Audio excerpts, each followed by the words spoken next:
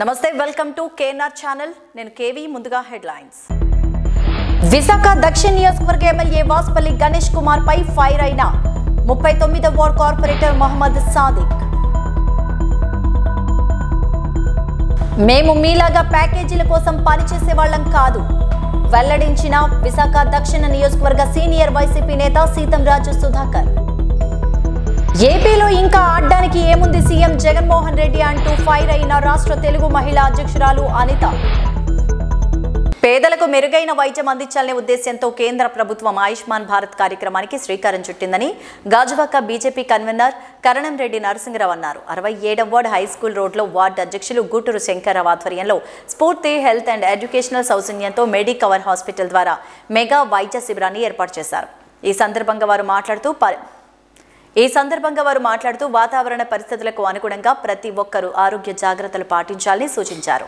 Doctor Sai పర్యవేక్షణలో ECG BP sugar cancer test కంటి దంత మరియు వినికిడి పరీక్షలు చేసి మందులు ఉచితంగా పంపిణీ చేశారు. కార్యక్రమంలో BVN Sagar Jayaravikumar కోక్క convener Sambabu co convener Sombabu బాట శ్రేణు స్వామి నాయుడు రాజశేఖర్లు పాల్గొన్నారు. ఈరోజు గాజువాక్ హై స్కూల్ రోడ్లో మండల అధ్యక్షులు అదేవిధంగా మా మీడియా సెల్కి జిల్లా కోకన్ నగర్శ్రీ గూటూరు శంకర్రావు గారు సీనియర్ నాయక్ వైద్య శిబిరం ఏర్పాటు చేయడం జరిగింది.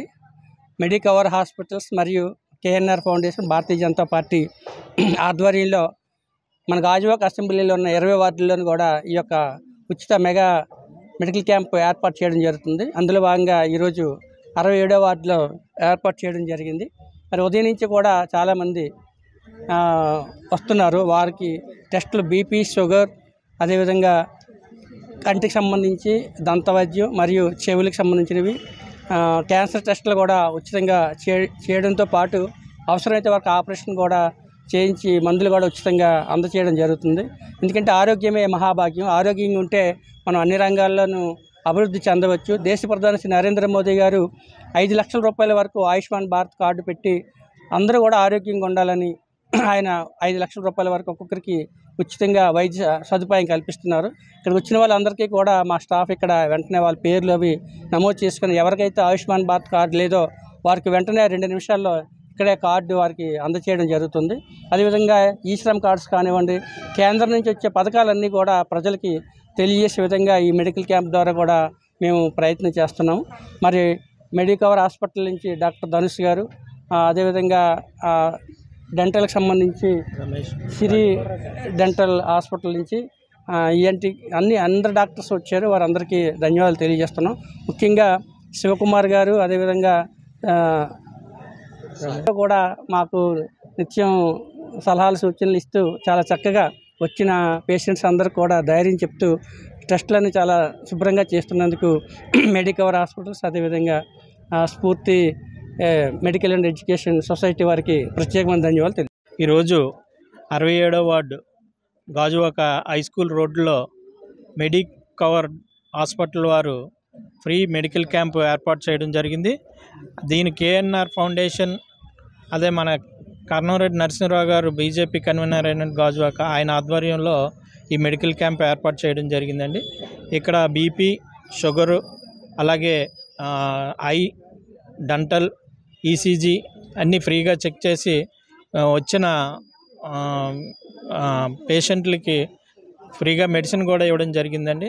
మరి ఇది ఏర్పాటు చేసినందుకు గాజువాక కన్వీనర్ గారికి మా ఆ వార్డు తరపున ఆయనకు హృదయపూర్వకంగా ధన్యవాదాలు తెలియజేస్తున్నాను పెందుర్తి మండలం రాంపురం గ్రామంలో ఉన్న పెందుర్తి శాసనసభ్యుడు అన్నంరెడ్డి ఆదీప్ రాజు ఇంటిని అంగన్వాడీ కార్యకర్తలు మూకుమ్మడిగా తమ సమస్యల పరిష్కారం కోరుతూ ముట్టడించారు. పెందుర్తి తహసీల్దార్ కార్యాలయం వద్ద గత పదిహేను రోజులుగా తమ సమస్యలు పరిష్కారం చేయాలంటూ అంగన్వాడీ కార్యకర్తలు నిరవధిక సమ్మె చేస్తున్న విషయం తెలిసిందే. తమ పోరాటం ప్రారంభించి పదిహేను రోజులు గడుస్తున్న స్థానిక ఎమ్మెల్యే కానీ రాష్ట్ర ముఖ్యమంత్రులు మంత్రులు ఎవ్వరూ కూడా స్పందించకపోవడంతో పెందుర్తి జోన్ అంగన్వాడీ కార్యకర్తలు ఎమ్మెల్యే ఇంటిని ముట్టడి ముట్టడించి తమ నిరసన తెలిపారు. ఈ సందర్భంగా రాష్ట్ర అంగన్వాడీ కార్యకర్తల గౌరవ సలహాదారిని కె. బృంద పెందుర్తి జోన్ అంగన్వాడీ కార్యకర్తల నాయకురాలు లెక్కల దేవి మాట్లాడారు. అంగన్వాడీ కార్యకర్తల సమస్యలు పరిష్కరించడంలో రాష్ట్ర ప్రభుత్వం ఘోరంగా విఫలమైందని ఆవేదన వెలిబుచ్చారు. జగన్మోహన్ రెడ్డి గారికి అనిపించలేదు ఎందుకు మన మీద మంచి దృష్టి లేకుండా చెడు దృష్టితో మనం చూస్తున్నారు మనల్ని కూడా వాళ్ళ అక్క సమస్యలన్నింటినీ రెండు మూడు రోజుల్లోనూ పరిష్కరించకపోతే మన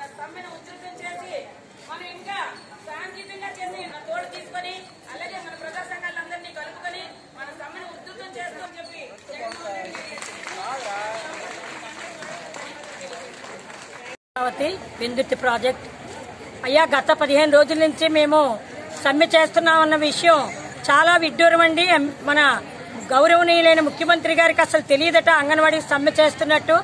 ఆయన చాలా వెటకారంగా మాట్లాడారండి. ఈ మహిళల మీద సాధికారతతో ఉన్న ప్రభుత్వం అని చెప్తున్న బొత్స సత్యనారాయణ గారికి ఈ మాటలో న్యాయం. అమరావతి ప్రాజెక్ట్.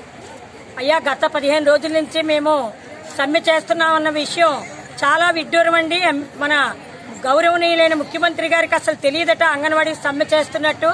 ఆయన చాలా వెటకారంగా మాట్లాడారండి. ఈ మహిళల మీద సాధికారతతో ఉన్న ప్రభుత్వం అని చెప్తున్న బొత్స సత్యనారాయణ గారికి ఈ మాటలో న్యాయం ఎక్కడుందా అన్నది మేము ప్రశ్నిస్తున్నాం. అలాగే మా పదిహేను రోజుల నుంచి ఆకలి మంటలు ప్రభుత్వానికి తెలియట్లేదా? మంత్రి రోజా గారితో కలిసి మన ముఖ్యమంత్రి గారు నిన్న క్రికెట్ ఆడుతున్నారు అంటే మహిళలందరూ ఆకలి మంటలతో రోడ్ల మీద అలమటిస్తుంటే ఆయన విలాసం కోసం ఆటలాడడం ఏమైనా బాగుందా అన్నది కూడా మేము ప్రశ్నిస్తున్నాం. తక్షణమే మాకు మా సమస్యల మీద గాని ప్రభుత్వం చర్య తీసుకోకపోతే మేమందరం కూడా జిల్లాల వారిగా కాదు మండలాల వారిగా గ్రామ గ్రామాల్లో ప్రతి ఇంటి ముందు కూడా మేము ఈ సభలు చెప్పి చేసి మా మా యొక్క సమ్మెను ఇంకా ఉధృతం చేస్తామని తెలియజేస్తున్నాం సార్. విశాఖ దక్షిణ నియోజకవర్గ ఎమ్మెల్యే వాసుపల్లి గణేష్ కుమార్ జనసేన పార్టీ నాయకులపై చేసిన వ్యాఖ్యలపై ఆ పార్టీ నేత ముప్పై తొమ్మిదో ward corporator Mohammed Sadiq fire అయ్యారు. బుధవారం పాతనగర్లోని తన కార్యాలయంలో ఏర్పాటు చేసిన మీడియా సమావేశంలో మాట్లాడారు. వాజ్పల్లి గణేష్ కుమార్ తాను చేసిన స్కామ్లను రోజుకొకటి బయటపెడతామని ఇక నుంచి ఆయనపై యుద్ధం ప్రకటిస్తున్నామన్నారు. ఇటీవల మధురవాడలో ఐదు ఎకరాల భూమిని తీసుకున్న వాసుపల్లి అది ఎన్నో విడత ప్యాకేజీ కింద ఇచ్చారో కూడా తెలియజేయాలని లేకుంటే తామే త్వరలోనే ఆ విషయాన్ని కూడా బయటపెడతామన్నారు. పార్టీ నాయకులు కార్యకర్తలపై ఇష్టానుసారంగా మాట్లాడుతూ చూస్తూ ఊరుకునేది లేదని ఆఖరికి టీటీడీ లెటర్లు కూడా అమ్ముకుంటున్నారని ఏకంగా సొంత పార్టీ నాయకులే ఆరోపించిన విషయాన్ని సాదిక్ గుర్తు చేశారు. ఇకనైనా పద్ధతి మార్చుకోవాలని సాదిక్ హెచ్చరించారు. అమ్ముకుంటున్నాడు. నాకు తెలిసి రాష్ట్రంలో రాష్ట్రంలోనే కాదు భారతదేశంలోని ఏ ఎమ్మెల్యే కూడా తిరుపతి లెటర్లు కూడా అమ్ముకుంటున్న పరిస్థితి ఎక్కడా లేదు. అది నిజంగా చెప్పాలంటే ఈ దక్షిణ నియోజకవర్గం చేసుకున్న దౌర్భాగ్యం అనుకుంటున్నాను. అంటే అవినీతి ఏ స్థాయిలో ఏ తారా స్థాయిలో మనోడి దగ్గర ఉందంటే లాస్ట్కి తిరుపతి లెటర్లు కూడా అమ్ముకుంటున్నాడు. మొన్నటి మొన్న చెప్తున్నాడు కదా ఆయన తాలూకా పిఏ పిఏ తాలూకా అవినీతి లేళ్ళు ఏముందో మొన్న ఒక వైఎస్ఆర్సీపీ నాయకుడే ప్రెస్ మీట్ పెట్టి క్లియర్గా అందరికి చెప్పడం జరిగింది. సో నువ్వా మన గురించి మాట్లాడేది? నువ్వు ఏ ప్యాకేజీలు తీసుకున్నావు ఏంటో తొందరలో ప్రెస్ మీట్ పెట్టి రోజుకో స్కామ్. నువ్వు చేసిన అవినీతులన్నీ కూడా రోజుకో స్కామ్ బయట పెడతావు. అలా అంటే ఈరోజు ఈ టాపిక్ వరకు పెట్టి నెక్స్ట్ రేపటి నుంచి ఆయన జరిగి ఆయన చేసే స్కామ్ రోజుకో స్కామ్ గురించి ఒక టైటిల్ పెట్టి ఆ స్కామ్ గురించి చెప్పడం జరుగుతుంది. అలాగే ఐసీలో ఉన్నారని చెప్తున్నాడు కదా. జనసేన పార్టీ ఐసీలో ఉంది అని చెప్తున్నాడు. మరి నువ్వు ఏ ఐసీయూలో ఉన్నావో రానున్న ఎన్నికల్లో జస్ట్ ఇప్పుడు ఎలక్షన్ అయిన తర్వాత మూడు నెలల్లో ఎవరు ఐసీయూలో ఉన్నారో ఎవరు బలంగా ఉన్నారో ప్రజలే తేలిస్తారు. నువ్వెందుకు చెప్పడం? ఐసీయూలో ఉన్న పార్టీ నువ్వు అంటున్నావు. ఎందుకు ఆ పార్టీ గురించి చర్చించాల్సిన అవసరం నీకేంటి? అందరూ ఈరోజు నాయకులందరూ కూడా వైఎస్ఆర్సీపీ పార్టీని వదిలేసి వెళ్ళిపోతున్నారు. వైఎస్ఆర్సీపీ పార్టీ ఒక మునిగిపోతున్న పార్టీ అని చెప్పేసి ప్రతి ఒక్కరు కూడా అనుకొని పారిపోతున్నారు. ఎందుకురా బాబు వైఎస్ఆర్సీపీ పార్టీ టికెట్ మీద కంటెస్ట్ చేయాలి అంటే రాజకీయానికి గుడ్ బై చెప్పినట్టే అని చెప్పి ప్రతి ఒక్కరు భావించి ఈరోజు వైఎస్ఆర్సీపీ పార్టీ వదిలి వెళ్ళిపోతున్నారు ప్రతి ఒక్కరు కూడా. రానున్న రోజుల్లో ఎలక్షన్ దగ్గర అయినప్పటికీ వైఎస్ఆర్సీపీ పార్టీకి క్యాండిడేట్స్ కూడా దొరకదు అన్న పరిస్థితి కూడా వస్తుందేమో అని చెప్పేసి నాకు ఆశ్చర్యంగా ఉంది. అలాగే ఐసీయూ అంటున్నాడు కదా ఎవరైతే గత రెండు వేల పంతొమ్మిదిలో ఈ పార్టీకి వైద్యం చేశాడో ఆ డాక్టర్ ఆ వైద్యుడు ఎవరైతే ప్రశాంత్ కిషోర్ ఆయనే చేతులు ఎత్తి పారిపోయాడు. మొన్నటి మనం మీరే చూశారు. వైఎస్ఆర్సీపీ పార్టీకి వ్యూహకర్త అని చెప్పేసి జగన్మోహన్ రెడ్డి రెండు వేల పంతొమ్మిదిలో ప్రజలందరికీ అలాగే వాళ్ళ పార్టీ శ్రేణులందరూ చెప్పాడు. ఆయనే నా మా పార్టీ తాలూకు వైద్యుడు అంటాడు ఆయన అంటున్నాడు ఐసీయూ ఆ ఐసీయూలో ఉన్న డాక్టరే పారిపోయాడు. ఈ ఈ- ఈ ఈ పార్టీకి చేస్తున్న వైద్యం. ఇప్పుడు వైఎస్ఆర్సీపీ పార్టీకి ఒక క్యాన్సర్ వ్యాధి అనేది పట్టుకుంది. ఇది మేకపోత గాంభీర్యం తప్ప లోపల నుంచి పార్టీ అంతా కూడా డొల్ అయిపోయింది. సో అందుకోసం రానున్న రోజుల్లో వేలల్లో లెక్కెట్టే సీట్లకి వైఎస్ఆర్సీపీ పార్టీ పరిమితం అయినా ఆశ్చర్యం లేదు. సో అందుకోసమే మీడియా ద్వారా ఒకటే చెప్తున్నాను. వాసుపల్లి గణేష్ కుమార్ ఖబర్దార్ రెండో విషయం ముక్కసూటిగా నువ్వు చర్చకు రెడీయా? దక్షిణ నియోజక అభివృద్ధి దక్షిణ నియోజక వర్గంలో పది సంవత్సరాల్లో నువ్వు ఏ అభివృద్ధి చేసావు ఎక్కడైనా సరే నువ్వు పిలువు నీ మీడియా లేకపోతే నీ ప్రాంతం నీ ఆఫీస్ అని కాదు. ఎక్కడైనా సరే వచ్చి నీ నువ్వు చేసిన నువ్వు నువ్వు చేసిన అభివృద్ధి కూడా నువ్వు చెప్పు. దాని గురించి చర్చకు నేను రెడీగా ఉన్నానని చెప్పి మీడియా ద్వారా తెలియజేస్తాను. Thank you. మేము మీలాగా ప్యాకేజీల కోసం పనిచేసే వాళ్ళం కాదు పబ్లిసిటీ కోసం అంతకంటే కాదు. మా ప్యాకేజీ ఇచ్చే స్థాయి దమ్ము నీకు ఉందా వాస్పల్లి అంటూ విశాఖ దక్షిణ నియోజకవర్గ సీనియర్ వైసీపీ నేత సీతంరాజు సుధాకర్ ప్రశ్నించారు. ఎమ్మెల్యే వాస్పల్లి దక్షిణ కార్పొరేటర్లు నాయకులు ప్యాకేజీలు తీసుకొని నిరసనలు చేస్తున్నారంటూ చేసిన వ్యాఖ్యలను సీతంరాజు తీవ్రంగా ఖండించారు. ఈ సందర్భంగా బుధవారం విశాఖ ముప్పై ఐదో వార్డులో మీడియాతో మాట్లాడుతూ విశాఖ దక్షిణ నియోజకవర్గంలోని వాసుపల్లి గణేష్ విభజించు పాలించు అనే విధంగా పనిచేస్తున్నారని లక్షలాది రూపాయలు అక్రమంగా సంపాదించి వేలాది రూపాయలు దానం చేసినట్లు ప్రకటించడం ప్రచారం చేసుకుంటున్నారని ఆరోపించారు. వాస్తవానికి ఎవరికైనా సాయం చేస్తే చెప్పుకోకూడదని కానీ వాసుపల్లి పబ్లిసిటీ కోసం ఇదంతా చేస్తున్నారని సీతం రాజు మండిపడ్డారు. బ్యాంక్ కమిషన్లు ఈ లోన్లు ఆ లోన్లు నానా గోత్ర ఇద్దరు ముగ్గురు పెళ్ళాలు రకరకాల పనులు రకరకాల ఎక్యూజుల్లో ఉన్న ఆ నాయకుడిని ఈ నాయకుడు బలోపేతం చేస్తాడు. ప్రతి ముప్పై మూడో వార్డులో అయితే సొంత అవసరాల గురించి చేసే పనులు చేసి పెట్టే ఓ నాయకుడిని తయారు చేశాడు. నీకు ఏ వార్డు చూడండి ఆ వార్డులో ఒక కుంపటి పెట్టడం.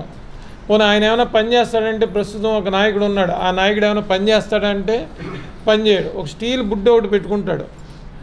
ఒంటి గంట రెండు తర్వాత ఆ బుడ్డ ఆన్ అయిపోద్ది.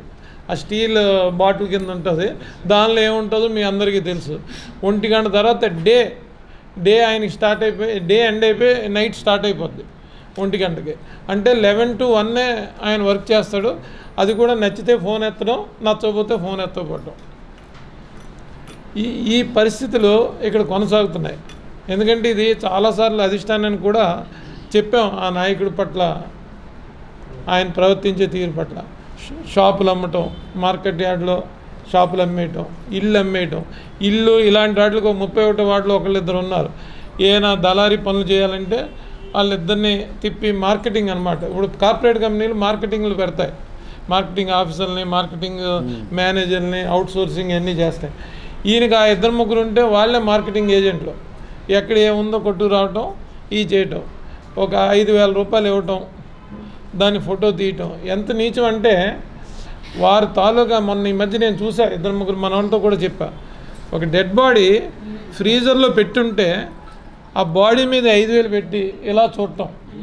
ఆ ఫోటో తీయడం నవ్వడం. మరి నువ్వు చావుకి వెళ్ళావా దేనికి వెళ్ళావు? లేదంటే ఒక చనిపోయిన వ్యక్తి తాలూకా ఫోటో తీసి ఆ ఫోటోకి ఇలాగ ఐదు వేలు తగిలించటం. ఏంటంటే ఇది ఎప్పుడూ లేదు ఇంతకుముందు. ఇది కూడా నాలాంటి మీలాంటి వాళ్ళని చూసి భయం వేసి ఇదేదో దానం దాన దానం అంటే ఏంటి? గుప్తంగా చేయాలి.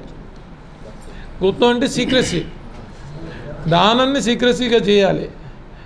అలాంటి దానాన్ని కూడా బహిర్గతం చేసి దాని వింత పోకడలతో వింత చేష్టలతో డిసీజ్ సోన్సో వ్యక్తి సోన్సో వీధి సోన్సో ఇంటి నెంబర్ సోన్సో ఇంకా వాడి పరువు ఏం కావాలి? ఆ బంధువుల్లో కానీ ఆ వీధిలో కానీ ఇంక వాళ్ళు ఇబ్బందికరమైన పరిస్థితి తీసుకొచ్చి ఈ వింత పోకళ్ళు ఒక రెండు నెలల నుంచి స్టార్ట్ అయింది. ఎందుకంటే అభద్రతతో ఏదో ఒక ట్రాన్స్ఫర్ చేయించో పది లక్షలు కొట్టడం ఇంకో చోట పది లక్షలు లాగటం చేసి ఇలాంటి ఒక ఐదేసి వేలు చిన్న పావురాలు వేస్తారు చూడండి. అలా చిన్న చిన్న మేత కింద చేసుకుంటా వింత పోకళ్ళతో నీ ఎన్ని ఎందుకు మాట్లాడాల్సి వచ్చిందంటే నిన్న నేను ఎప్పుడు పార్టీ లైన్ దాటి మాట్లాడను. అబ్జర్వ్ చేస్తే మీరు ఎప్పుడు దాకా ఎప్పుడు కాంట్రవర్సీకి వెళ్ళిన దాఖలాలు లేవు ఉండవు కూడా.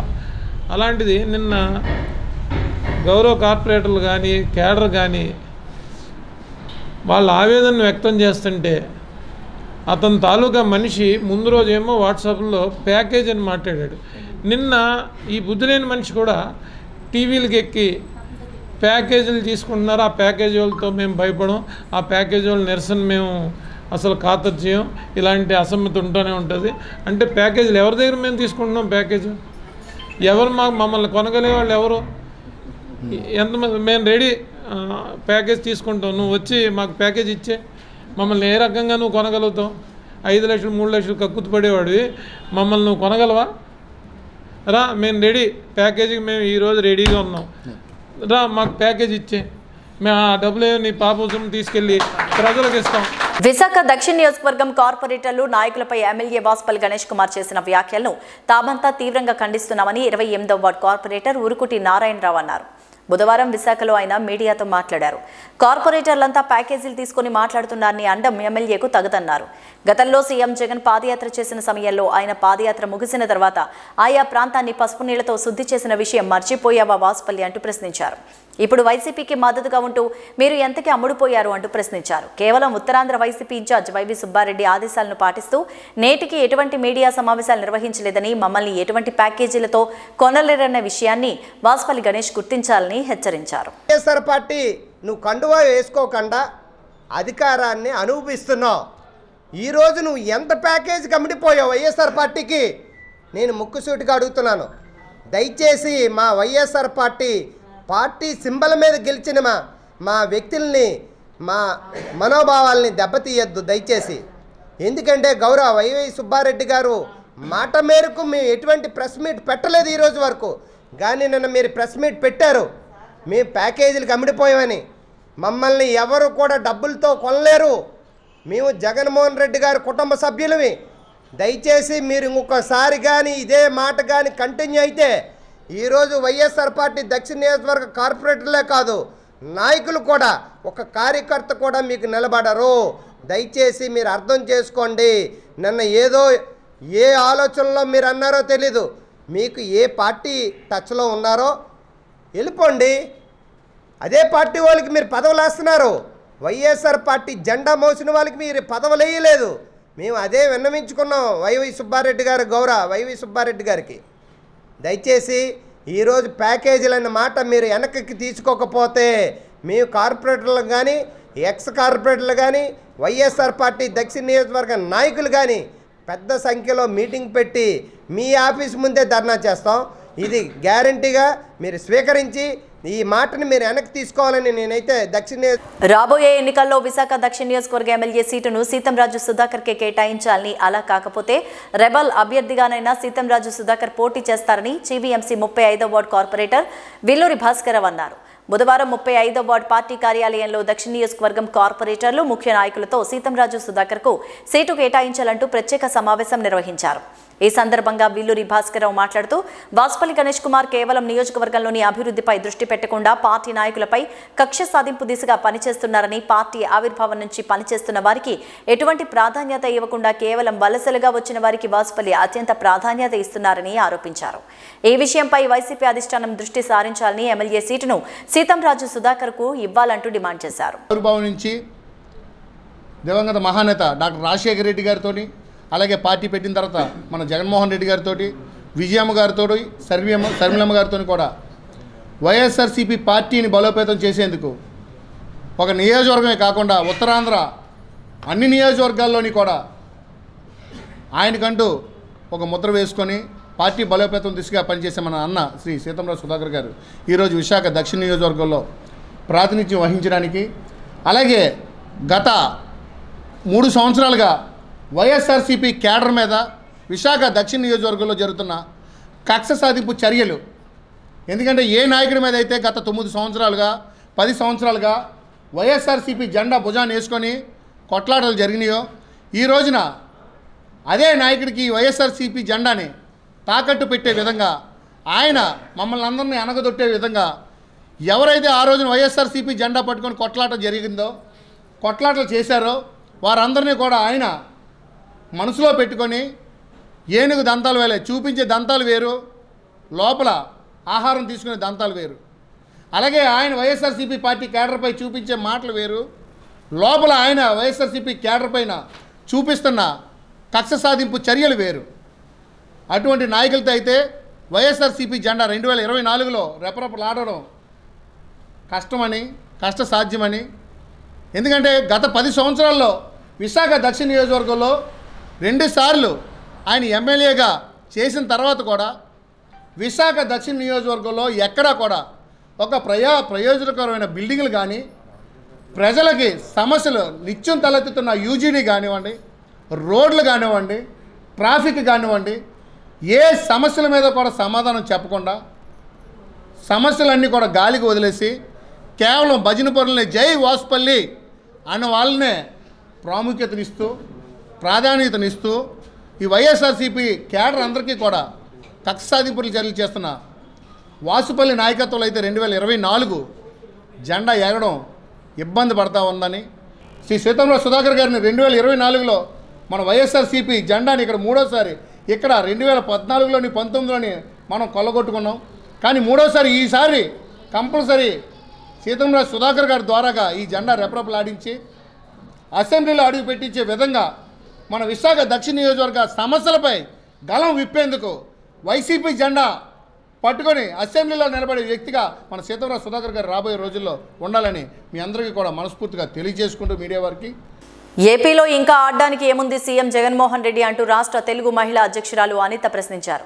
బుధవారం విశాఖ తెలుగుదేశం పార్టీ కార్యాలయంలో జరిగిన విలేకరుల సమావేశంలో ఆమె మాట్లాడారు. నేను ఉన్నాను నేను విన్నాను అని చెప్పి ఎన్నికల్లో గెలిచిన తర్వాత అన్ని వర్గాల ప్రజలను జగన్ మోసం చేసి ఆడుకున్నారని ఆరోపించారు. ఇప్పుడు ఎన్నికల దగ్గర పడుతున్న సమయంలో ఆడుదాం ఆంధ్ర అనే ప్రోగ్రాం పెట్టడం హాస్యాస్పదమన్నారు. నాలుగున్నరేళ్ళుగా ఆంధ్రప్రదేశ్ ప్రజలతో జగన్ ఆటలు ఆడుకుంటున్నారని ఆసియా వర్కర్లు మున్సిపాలిటీ అంగన్వాడీ కార్యకర్తలతో సైకో జగన్ ఆడుకుంటున్నారని ప్రభుత్వ ఉద్యోగులకి సమయానికి జీతాలు ఇవ్వకుండా ఇబ్బందులు పెడుతున్నారన్నారు. మళ్ళీ ఆడుదాం ఆంధ్ర పేరిట వంద కోట్ల ప్రజాధనం దుర్వినియోగం చేస్తున్నారంటూ ఆరోపించారు.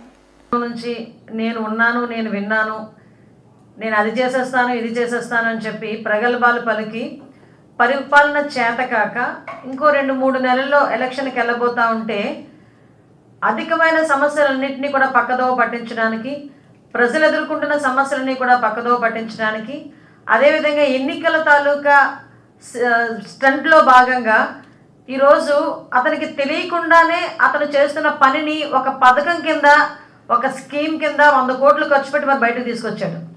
అదేంటో తెలుసు ఆ పథకం? ఆడుదాం ఆంధ్ర. అసలు నిజంగా నాకు ఈ పథకం అదే ఆ సం- పద- పర్టికులర్గా ప్రోగ్రామ్ పేరు విన్న వెంటనే నేనైతే ఫస్ట్ నవ్వుకున్నా. ఈ కొత్తగా పెట్టడం ఏముంది ఆడదాం ఆంధ్ర అని? నాలుగున్నర సంవత్సరాలుగా నువ్వు చేస్తున్న పది పని అదే కదా జగన్మోహన్ రెడ్డి. సైకో జగన్. నాలుగున్నర సంవత్సరాలుగా ప్రజల జీవితాలతో ఆటలాడుకుంటూ ఆంధ్రప్రదేశ్ రాష్ట్ర ప్రజలతో జీవితాలతో ఆటలాడుకుంటున్న నువ్వు ఈరోజు స్పెషల్గా మళ్ళీ ఆడుదాం ఆంధ్ర అని ఒక ఎన్నికల స్టంట్ని బయలుదేరి బయట తీశాడు అసలు ఎందుకు ఇది ఎన్నికల స్టంట్ అన్నాను? అసలు ఏంటి ఆడుతున్నాడు అన్నది ఒకసారి వివరాల్లోకి వెళ్తే ఫస్ట్ మనం జాగ్రత్తగా పరిశీలిస్తే ఈ ఆడుదాం ఆంధ్ర అన్న పదం అతని తాలూకా నైజానికి సంబంధించి బయటకు ఉద్భవించిన ప్రోగ్రామ్ ఇది. ఎందుకంటే మీరు అబ్జర్వ్ చేయండి ఎన్నికలు అయిన తర్వాత ఫస్ట్ ఆడుకున్నది అతని తల్లితోనే అతని చెల్లితోనే. తర్వాత వెంటనే అక్క చెల్లెమ్మల దగ్గరికి వచ్చాడు. రాష్ట్రంలో అక్క చెల్లెమ్మల దగ్గరికి వచ్చాడు. అక్క చెల్లెమ్మలతో ఎలా ఆడుకున్నాడు? కల్తీ మద్యం ప్రవేశపెట్టి తాలిబొట్లు తెగిపోతా ఉంటే ఒక రాక్షస ఆనందం పొంది ఆటోమేటిక్గా అక్క చెల్లెమ్మల జీవితాలతోని వాళ్ళ పిల్లల జీవితాలతోని కూడా ఆడుకున్నాడు. మేనమావని పిలిపించుకొని పిల్లల చేత నాడు నేడు స్కీమ్ అని చెప్పి కల్ కల్తీ పనులన్నీ చేయించి నాశరకమైన పనులన్నీ చేయించి ఈరోజు ఆ నాడు నేడు బడుల్లో కూడా కూలిపోతుంటే పిల్లలు ప్రాణాలు పోయే పరిస్థితిలో ఉండి ఆ తల్లుల గర్భశోకంతో ఆడుకున్నాడు. మనం ఇంకా వివరాల్లోకి వెళ్తే అంగన్వాడీ కార్యకర్తలు. ఈరోజు నాలుగున్నర సంవత్సరాలుగా నువ్వు చేసిన మోసాన్ని గ్రహించి ఈరోజు ఎంతో మంది అంగన్వాడీ కార్యకర్తలు రోడ్ల మీదకి వచ్చి వినూత్నంగా వాళ్ళందరూ కూడా నిరసనలు తెలియజేస్తా ఉంటే ఈ రోజుకి కూడా వాళ్ళ గురించి పట్టించుకునే నాదుడు లేక వాళ్ళ జీవితాలతో ఆడుకున్నాం. ఆశా వర్కర్లు మనందరికీ తెలిసిందే. ఆఖరికి మున్సిపల్ వర్కర్స్. ఇందాకే మా పత్రికా సోదరుడు అంటున్నారు ఏంటి అందరూ మా పలుచగా ఉన్నారంటే ఎక్కడ చూసినా ధర్నాలే పడుతున్నాయండి ఎక్కడ చూసినా నిరసనలే కనిపిస్తున్నాయి దట్స్ వై మేము అది కవర్ చేసుకోవడానికి వెళ్ళామండి. అది సిగ్గనిపించట్లేదా జగన్మోహన్ రెడ్డి? పాల ఉత్పత్తుల రంగంలో అగ్రగామి అయిన ఆంధ్ర కొరియన్ రైతుల పాలిట ఆత్మ బంధువు విశాఖ డైరీ మాజీ చైర్మన్ కీర్తిశేషులు ఆడారి తులసిరావు కాంస్య విగ్రహావిష్కరణ శ్రీ విజయ విశాఖ ప్రాంగణంలో ఘనంగా జరిగింది. కార్యక్రమానికి ముఖ్య అతిథులుగా కేంద్ర పాడి పరిశ్రమ మత్స్య పరిశు సంవర్ధక శాఖ మంత్రి Purushottam Rupala MP CVL Narasimha Rao MP Satyavathi రాష్ట్ర ఐటీ శాఖ మంత్రి గుడివాడ అమర్నాథ్ విశాఖ నగర మేయర్ గులగాని హరివెంకట కుమారి తులసిరావు కుమారుడు ప్రస్తుత విశాఖ డైరీ చైర్మన్ ఆడారి ఆనంద్ కుమార్ హాజరై ప్రారంభించారు.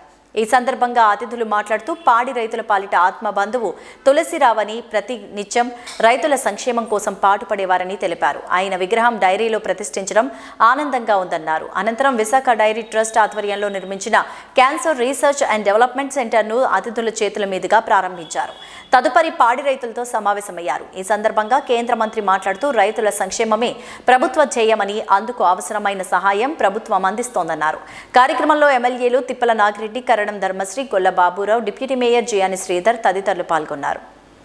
చేసిన తర్వాతే నేను వారి మరణం సంభవించిన సమయంలో వెళ్ళి పరామర్శ కోసం వారి కుటుంబానికి వెళ్ళటం ఆనంద్ గారిని వారి చెల్లెలు గారిని వారి అక్కయ్య గారిని కలుసుకోవటం. సో ఒక ఒక కొద్ది మంది వ్యక్తులు మాత్రమే చరిత్ర సృష్టిస్తారు. ఆనంద్ తులసిరావు గారు అడారి తులసిరావు గారు చరిత్ర సృష్టించిన వ్యక్తి ఒక గొప్ప ఒక నేనైతే పారిశ్రామికవేత్త అని అనను నేను ఖచ్చితంగా మరి ప్రజాక్షేత్రంలో రైతుల బాగోగుల కోసం పనిచేసే అతి కొద్ది మంది వ్యక్తుల్లో మరి చెప్పుకోదగ్గ వ్యక్తుల్లో దేశవ్యాప్తంగా ఖచ్చితంగా అడారి తులసిరావు గారిది ఒక ప్రత్యేకమైనటువంటి పాత్ర. అంటే కేవలం మరి వ్యాపారం దృష్టితో చూడకుండా రైతుల సంక్షేమాన్ని రైతుల పిల్లల యొక్క భవిష్యత్తుని వారి వారి విద్యా ఉద్యోగాల గురించి వారి నైపుణ్యం గురించి ఆఖరికి పిల్లలు లేని సంతానం లేని వారికి కూడా సంతానం కలిగేలా మరి ప్రయత్నాలు చేసి వారిని మరి ఇండోర్ దగ్గరికి పంపించి ఎన్టీఆర్ జిల్లా మైలవరం మండలం ప్రజా పరిషత్ కార్యాలయం వద్ద నిరసన వ్యక్తం చేస్తున్న అంగన్వాడీ మరియు ఆసియా కార్యకర్తలకు టీడీపీ విజయవాడ పార్లమెంట్ తెలుగు మహిళా కార్యదర్శి ఇందిరా ప్రియదర్శిని మరియు కుంటముక్కల గ్రామ ఎంపీటీసీ సందీపాము జయలక్ష్మి సంఘీభావం తెలిపిన అనంతరం మాట్లాడారు. జగన్మోహన్ రెడ్డి పాదయాత్ర సమయంలో ముద్దులు పెట్టి మీకు జీతాలు పెంచుతానని గ్రాడ్యుటీ పెన్షన్ ఇస్తానని సంక్షేమ అభివృద్ధి పథకాలు అందిస్తానని ఇప్పుడు మాట తప్పారని అంగన్వాడీలు నాలుగు వేల రెండు వందలు ఉన్న జీతం పదివేల ఐదు వందలకు పెంచిన ఘనత చంద్రబాబుదని ఇలాంటి మోసపూరితమైన జగన్మోహన్ రెడ్డికి ఓటు ద్వారా తగిన బుద్ధి చెప్పాలన్నారు. కాబట్టి ఈ మోసపు జగన్మోహన్ రెడ్డి మీ అందరితో ఓట్లు వేయించుకొని అక్క చెల్లి అని మోసం చేసి ఏ విధంగా మిమ్మల్ని రోడ్డు పాలు చేశారో మీరందరూ కూడా ఒకసారి గుర్తు చేసుకోవాలి. ఈ సుప్రీంకోర్టు మొన్న ఈ మధ్యన అంగన్వాడీసీకి గ్రాడ్యుయేట్స్ కానివ్వండి వాళ్ళకి సంక్షేమ పథకాలు కానివ్వండి వాళ్ళ పెన్షన్స్ కానివ్వండి సకాలంలో అందించమని సుప్రీంకోర్టు మొట్టికాయలు వేసినా కూడా ఈ దిక్కుమాలి జగన్మోహన్ రెడ్డి ఈ దున్నపోతు ప్రభుత్వం కనీసం మిమ్మల్ని పట్టించుకొని కూడా పట్టించుకోవట్లేదు. మీరు పదిహేను రోజుల నుంచి ఈ విధంగా నిరసన చేస్తుంటే కనీసం మిమ్మల్ని పిలిపించి ఇది కాదమ్మా అది అని మీకు సర్ది చెప్పడం కానీ మీ మాటని వినటం కానీ ఏ విధంగా కూడా హామీ ఇవ్వకపోవటం నిజంగా ఈ దుర్మార్గమైనటువంటి ప్రభుత్వానికి మీరందరూ కూడా బుద్ధి చెప్పాలి. ఒకసారి మీరందరూ కూడా గుర్తు చేసుకోవాలి. మీకు గౌరవ వేతనం నాలుగు వేల రెండు వందలు ఉంటే దాన్ని పదివేల ఐదు వందలు చేసింది చంద్రబాబు నాయుడు గారు. మరి పద్దెనిమిది వేల పైగా అంగన్వాడీ కేంద్రాలు నిర్మించి మీ అందరికీ కూడా కొత్త వాళ్ళందరికీ కూడా ఉద్యోగ అవకాశం కల్పించింది చంద్రబాబు నాయుడు గారు. మరి మీకు మీ అంగన్వాడీ వరకే పని పరిమితి ఉండేది. ఇంత పని ఒత్తిడి కూడా ఉండేది కాదు. ఎంతో చక్కగా మీరు ఇంటి దగ్గర పనులు చేసుకొని అంగన్వాడీలో పనులు చేసుకొని చక్కగా ఉండేవాళ్ళు. ఈ జగన్మోహన్ రెడ్డి వచ్చిన తర్వాత మీకు యాప్స్ అని కానివ్వండి పని ఒత్తిడి కూడా విపరీతంగా పెంచేసి మిమ్మల్ని ఎంత దారుణంగా హింసిస్తున్నాడో మనం అందరం కూడా చూస్తున్నాం. తెలుగుదేశం ఉన్నప్పుడు మీకు ఫస్ట్ తారీఖు కల్లా జీతాలు ఇచ్చేవాళ్ళు. మిమ్మల్ని ఎటువంటి పని ఒత్తిడి గురి కానివ్వకుండా చాలా జాగ్రత్తగా పడేవాళ్ళు. ఈరోజు ఈ జగన్మోహన్ రెడ్డి వచ్చి జీతాలు టైంకి ఇవ్వకపోగా కనీసం జీతాలు పెంచమంటం కూడా పక్కన పెట్టండి జీతాలే సరిగా ఇవ్వట్లేదు. మరి ఈరోజు నాణ్యమైనటువంటి పాలు కానివ్వండి పౌష్టికాహారం కూడా ఈ జగన్మోహన్ రెడ్డి అందించట్లేదు. పాలు కోడిగుడ్లు ఎన్టీఆర్ జిల్లా కొత్తరెడ్డిగూడెం గ్రామంలో ధాన్యం కొనుగోలు కేంద్రాన్ని పరిశీలించిన అనంతరం రెడ్డిగూడెం మండల జడ్పీటీసీ పాలంకి విజయభాస్కర్ రెడ్డి మాట్లాడారు. ఎమ్మెల్యే వసంత వెంకట కృష్ణప్రసాద్ ఆదేశాల మేరకు తడిసిన రంగు మారిన తేమ శాతం అధికంగా ఉన్నా కూడా ఎటువంటి అభ్యంతరాలు పెట్టకుండా ప్రభుత్వమే కొనుగోలు చేయడం జరుగుతోందని ధాన్యం మిలుకు చేరిన మూడవ రోజునే రైతుల అకౌంట్లో డబ్బులు జమ అవుతున్నాయని టీడీపీ వారు మాట్లాడుతున్న మాటలు నిరాధారమైనవని నమ్మొద్దని రైతులు ఎవరూ ఆందోళన పడనవసరం లేదని తెలిపారు. కార్యక్రమంలో తిరుపతిరావు భారత్ కుమార్ రెడ్డి చాట్ల రాబర్ట్ వరప్రసాద్ రెడ్డి వెంకటరెడ్డి వీరస్వామి వెంకటేశ్వర రెడ్డి శ్రీనివాస్ రెడ్డి అంజిరెడ్డి గోపిరెడ్డిలు పాల్గొన్నారు. తడిచిన ధాన్యమైనా తేమ ఎక్కువ శాతం ఉన్నా కూడా రంగు మారినా కూడా రైతుల శ్రేయస్సు దృష్టిలో పెట్టుకొని మరి రైతాంగం యొక్క ప్రతి గింజ కాటాయమని ప్రభుత్వం ఆదేశించిన మేరకు ఈ మండలంలో ఈ రోజుకు నిర్విఘ్నంగా తుఫాను ఉన్న టైంలో కూడా మరి మేమంతా ధాన్యం కొనుగోలు సెంటర్లు ప్రారంభించి మరి వాతావరణ ప్రతికూల పరిస్థితులు ఉన్నా కూడా తేమ శాతం ఉన్నా కూడా కాట కాటాలు వేయటం ప్రారంభించడం జరిగింది. మరి అక్కడ నుంచి మరి తుఫాన్ వెళ్ళిపోయినా కూడా మరి ఆరుదల జరిగినటువంటి పంటలన్నీ కూడా ప్రతి గ్రామంలో ప్రతి పీపీసీ సెంటర్లో కూడా ఇవాళ నిర్విఘ్నంగా కాటా వేయడం జరుగుతూ ఉంది. అదే కాకుండా మరి ఏదైతే తుఫాన్కి పంట నష్టం వరి దెబ్బతిందో మరి ప్రభుత్వం ముఖ్యమంత్రి గారి ఆదేశాల ప్రకారం ఇవాళ వ్యవసాయ శాఖ అధికారులంతా పొలాల్లోకి వెళ్ళి రైతాంగానికి నష్ట పరిహారం ఇచ్చే దానికోసం మరి అంచనాలు వేయటం కూడా జరిగిపోయింది. మరి రాబోయే కాలంలో ఖచ్చితంగా ముఖ్యమంత్రిగా చెప్పారు ఖచ్చితంగా పంట నష్టపరిహారం రైతాంగానికి జనవరి పండగలోపే వేస్తానని చెప్పడం జరిగింది. ఖచ్చితంగా ఎన్టీఆర్ జిల్లా నందిగామ పట్టణంలో శాసనసభ్యులు ముండితోక జగన్మోహన్ రావు కార్యాలయాన్ని అంగన్వాడీ టీచర్లు మరియు సిబ్బంది ముట్టడించారు. న్యాయపరమైన తమ డిమాండ్లను వెంటనే నెరవేర్చాలని గత ప్రభుత్వం పదిహేను వందల జీతం ఇస్తే కేవలం వెయ్యి రూపాయలు మాత్రమే పెంచి తమతో గొడ్డు చాకిరీ చేయించుకుంటోందని గత ఇరవై రోజుల నుంచి నిరసన తెలియజేస్తున్నప్పటికీ స్థానిక శాసనసభ్యుడు కనీస స్పందన లేదని ఆగ్రహాన్ని వెలిబుచ్చారు.